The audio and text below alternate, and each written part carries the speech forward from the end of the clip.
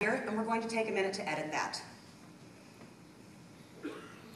You can see the amount and array of information that borrowers are able to provide to lenders, beginning with the reason for a loan and the amount of it.